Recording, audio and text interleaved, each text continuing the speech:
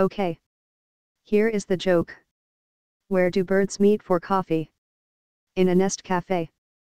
Ha ha.